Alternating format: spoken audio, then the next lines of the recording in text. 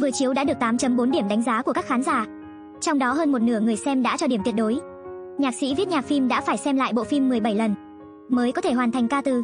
Các bạn khán giả cảm động công nhận rằng đây đúng là bộ phim ngôn tình rất tuyệt vời. Mùa hè năm 1968, cô gái về quê thăm ông ngoại. Trên đường cô gặp được mấy thanh niên đang mò cá, thấy Juhi xinh xắn, ánh mắt của Jun Ho dán chặt lấy cô, anh vẫy tay chào hỏi cô, không ngờ Juhi lịch sự vẫy lại, làm cho anh ta vô cùng kích động. Lần đầu tiên về quê, Juhi rất tò mò về mọi thứ xung quanh. Cô bảo chàng trai ngốc nghếch này dẫn mình đi nhà ma thám hiểm. Jun Ho lập tức gật đầu đồng ý. Ngày hôm sau hai người chèo thuyền tới nhà ma, không ngờ Jun Ho lại nhát gan thế. Khi anh ta nhìn vào bên trong căn nhà, bị dọa tới mức một mình chạy mất réo, căng thẳng và kích thích làm hai người hét lớn, cũng làm cho quan hệ của bọn họ từ từ tiến sát gần nhau.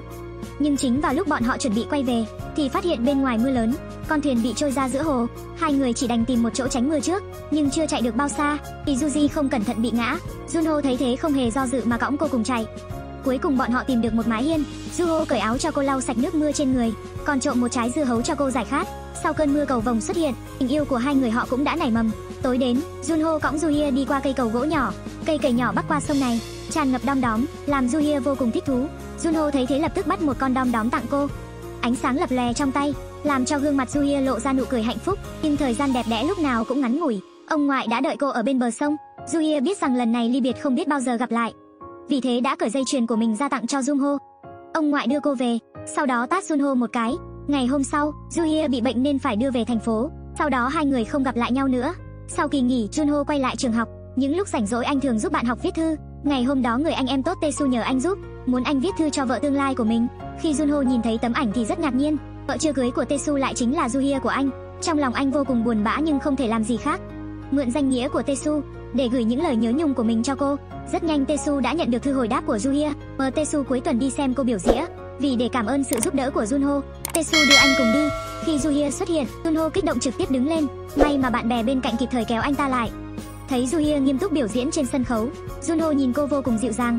Sau khi buổi biểu diễn kết thúc, Junho ôm bó hoa muốn tặng cho người mình yêu, nhưng gia đình của Juhia đã vây lấy cô chuẩn bị rời đi. Hai người cứ như thế mà rời xa, dùng nụ cười để thể hiện nỗi nhớ. Junho thất vọng ngồi thẫn thờ ở ghế đá. Chính vào lúc này một bóng hình quen thuộc xuất hiện, Junho vô cùng vui mừng, chạy vội vàng tới chỗ cô. Hai người bốn mắt nhìn nhau, tất cả mọi sự chờ đợi đều xứng đáng. Junho tặng cô bó hoa tươi. Chân của cậu khỏi chưa? Khỏi rồi. Cảm cúm thì sao? Cũng khỏi rồi, tôi rất lo lắng cho cậu. Chỉ nói được vài câu ngắn ngủi rồi Juhia lại phải rời đi. Trước khi đi cô quay người nói với Junho, con đom đóm cậu tặng tớ vẫn đang nuôi nó, nó khỏe lắm, giống như tớ vậy. Lúc đó hai người đều hiểu được tâm ý của đối phương.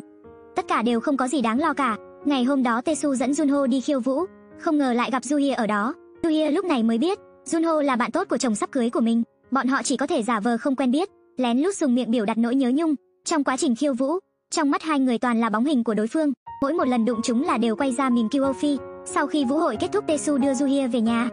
Có lẽ là không được gặp gỡ người mình yêu thương, nên Juhia có chút thất vọng. Chính vào lúc cô chuẩn bị nhấn chuông cửa, thì đèn đường phía sau chợt tắt. Juhia quay đầu lại nhìn, đèn đường sáng lên còn Junho đang đứng đó đợi cô. Juhia không thể khống chế cảm xúc trong lòng, chạy như bay tới lao vào lòng Junho. Sau mấy lần gặp gỡ, Tesu cũng dần dần đã thích Juhia. Anh ta cầm bó hoa tỏ tình với cô. Juhia tớ thích cậu. Điều này làm cho Juhia không biết phải làm sao cô không muốn làm tổn thương Tesu. Càng không muốn phá hoại tình bạn giữa Junho và Tesu. Vì thế trong cơn mưa lớn cô đề nghị chia tay với Junho. Nhưng còn chưa đi được mấy bước cô đã quay lại. Cô không lừa được nội tâm của mình, cũng không thể bỏ được chàng trai mà cô yêu này vì muốn được ở cùng với người mình yêu. Juno nói mọi chuyện với Tesu, bảo Tesu đánh mình một trận, nhưng Tesu rất bình tĩnh, đừng để bố tôi nhìn thấy chiếc vòng cổ đó, ông ta sẽ tức giận đó, bởi vì chiếc vòng cổ đó là quà mà bố tôi tặng cho Juhia. Thì ra Tesu đã biết mọi chuyện, anh không chỉ chủ động rút lui, khỏi cuộc tình không thuộc về mình này, mà còn cho Junho mượn danh nghĩa của mình để viết thư chi Juhia. Như thế thì bố mẹ đôi bên sẽ không phát hiện, dưới sự giúp đỡ âm thầm của Tesu, hai người có thể liên lạc thường xuyên, tình cảm cũng dần dần sâu đậm, nhưng cảnh đẹp không dài. Một bức thư của Junho không may bị gửi về nhà Tesu. Bố anh ta cũng phát hiện ra bí mật của ba người. Tesu nói rằng mình không thích Suhia, còn bảo bố hủy hôn ước của hai người. Người bố nghe xong vô cùng tức giận, vì để tác thành cho mối hôn sự này, mà cả gia tộc đã bỏ ra cái giá rất đắt, bây giờ lại bị con trai phá hoại. Ông ta tức giận đánh Tesu một trận, một bên là dòng tộc, một bên là anh em tốt. Tesu không biết lựa chọn thế nào, cuối cùng lựa chọn tự sát. May mà Junho kịp thời phát hiện, lúc này mới cứu được Tesu. Thấy Tesu nằm trên giường hôn mê bất tỉnh, Tunho vô cùng tự trách, anh ý thức được mình nên buông tay rồi, vì thế để lại chiếc vòng cổ, sau đó biến mất khỏi thế giới của Juhia. Không lâu sau chiến tranh nổ ra, Tunho lựa chọn tham gia chiến tranh. Biết được tin đó Juhia vội vàng tới trạm xe lừa, cô điên cuồng đập cửa sổ. Junho, Junho thấy Juhia khóc không thành tiếng, nội tâm của Junho rất đau khổ, nhưng anh vẫn quyết tâm quay đầu đi chỗ khác, anh ta sợ rằng nếu mở miệng ra thì sẽ không nhịn nổi. Junho, anh nhất định phải sống nhé. Junho, anh nhất định phải sống rồi quay về nhé. Juhia điên cuồng chạy theo xe lừa, Junho không NSAN được mà chạy ra phía sau. Sống chết trên chiến trường là chuyện khó nói, đây có lẽ là lần gặp mặt cuối cùng của hai người họ. Juhia đưa chiếc vòng cho Junho, đây là lời chúc phúc của cô dành cho Junho, càng là lời yêu thương mà cô dành cho anh. Chiến tranh tàn khốc hơn tưởng tượng rất nhiều. Trong một lần rút lui anh phát hiện không thấy chiếc vòng đâu. Vì thế anh không màng nguy hiểm quay về chiến trường tìm kiếm. Tuy rằng thành công tìm được chiếc vòng về, nhưng trên đường trở về lại dẫm phải mìn, hai mắt mất đi ánh sáng. Sau khi chiến tranh kết thúc, Junho hẹn Juhia ở nhà hàng. Cô đã đợi anh từ sớm, bao nhiêu năm chờ đợi, thấy người mình yêu sau bao năm, nước mắt Juhia đã rơi thành dòng. Em chẳng thay đổi chút nào, vẫn xinh đẹp giống như trước kia. Còn anh đã già đi rất nhiều, hai người đối mặt nói chuyện với nhau, giống như mọi thứ đã quay về trước đây. Những năm này Juhia luôn đợi Junho quay về, nhưng Junho nói mình đã kết hôn rồi. Lúc này Juhia không biết nên làm thế nào. Bao nhiêu năm chờ đợi cuối cùng lại nhận được kết quả như thế. Vì để thay đổi bầu không khí, Junho chuyển chủ đề sang bên cạnh, nói về chiếc đàn piano, nói rằng anh nhìn chiếc đàn đó như nhìn thấy dáng vẻ cô đánh đàn ngày xưa. Juhia quay đầu nhìn, bên đó không có chiếc đàn nào. Thì ra mấy phút trước, chiếc đàn piano đã bị cậu bé bê đi mất rồi. Juhia đột nhiên ý thức được điều gì đó. Cô dùng tay lắc lư trước mặt Junho. Junho không phản ứng lại. Lúc đó Juhia không nói nên lời. Bây giờ trông em thế nào? Em trông rất khỏe mạnh, nhưng anh muốn em vui vẻ nhiều hơn nữa. Em đang khóc, anh không nhìn thấy nước mắt của em sao? Junho giống như một đứa trẻ mắc lỗi rồi bị phát hiện. Lập tức quay người rời đi, nhưng hoảng loạn nên anh quên mất phương hướng. Xin lỗi, anh cứ tưởng anh đã thành công, vốn dĩ là anh có thể thành công rồi. Tối qua anh đã luyện tập rất lâu. Suýt chút nữa thì anh lừa được em rồi. Anh diễn tốt như thế. Junho lấy chiếc vòng cổ năm nào trả lại cho Juhia. Nhưng Juhia lại đeo nó lên cổ cho Junho, nói rằng chiếc vòng đó mãi mãi thuộc về Junho. Sau này dưới áp lực của bố mẹ nên Juhia đã phải gả cho Tesu. Ảnh cưới của cô tràn ngập nước mắt, không có ai biết được cô khóc vì điều gì, có lẽ chỉ có mỗi cô là biết đáp án. Nhiều năm sau đó, Juhia thường đưa con gái tới bờ sông nơi cô gặp Junho lần đầu. Ngày hôm đó đột nhiên có mấy người mặc đồ đen tới bên bờ hồ.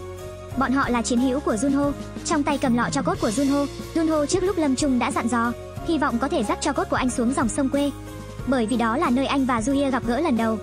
Bọn họ còn nói với Juhia, ra sau khi cô xuất giá anh mới kết hôn, sau khi đứa con trai của anh chào đời, thì đã lâm chung, lúc đó Juhia khóc không thành tiếng, thì ra chàng trai mà cô yêu chưa từng quên cô, nhưng bọn họ đã không còn cơ hội gặp gỡ nữa.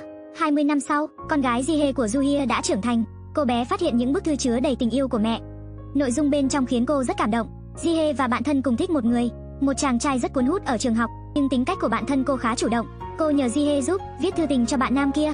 Jihe giống như Junho năm đó, gửi lời yêu của mình vào thư của bạn thân, viết gửi cho người cô mến thương. Sang Min bị nội dung trong thư làm cảm động, bắt đầu hẹn hò với bạn thân của cô, nhưng Jihe phát hiện Sang Min thường xuyên nhìn cô, nhưng cô không dám xác định tình ý của Sang Min. Cho tới ngày hôm đó, một trận mưa lớn kéo hai người lại gần nhau. Khi biết được Jihe muốn tới thư viện, Sang Min cởi áo khoác ngoài ra chắn mưa cho cô, chạy cả quãng đường che mưa cho cô. Cuối cùng Jihe biết được, thì ra Sang Min mang ô, nhưng khi anh nhìn thấy cô không mang ô, thì đã cố ý để ô lại để tạo ra cơ hội gặp mặt. Jihe nở nụ cười hạnh phúc, thì ra người cô thích cũng thích cô. Cô kích động cầm cây ô mà Sang Min để lại, chạy như bay trong cơn mưa, thần hồn điên đảo chạy tới xưởng vẽ. Cậu có ô, tại sao lại để ướt hết như vậy? Thế sao cậu có ô lại chịu ướt để che mưa cho người khác thế? Hai người yêu nhau cuối cùng cũng đến được với nhau. Jihe đưa anh tới nơi mà hồi nhỏ mẹ cô hay đưa cô tới, sau đó kể với anh câu chuyện về mẹ mình. Không ngờ Sang Min nghe xong bật khóc, anh lấy chiếc vòng mà bố để lại cho anh ra, đeo lên cổ cho Jihe. Thì ra Sang Min là con trai của Junho. Quay qua quay lại, những tiếc nuối của đời trước đã hạnh phúc ở đời sau. Bọn họ tới cây cầu nhỏ nơi bố mẹ hẹn ước, Sang Min bắt một con đom đóm tặng cho Jihe, ánh sáng lập lè trong lòng bàn tay, tất cả như quay về năm đó. Dưới ánh sáng của đom đóm, hai người trao nhau nụ hôn. Bốn mùa thay đổi, cuối cùng đoạn tình cảm này đã không còn gì nuối tiếc. Giống như mọi thứ đều thuận theo ý trời,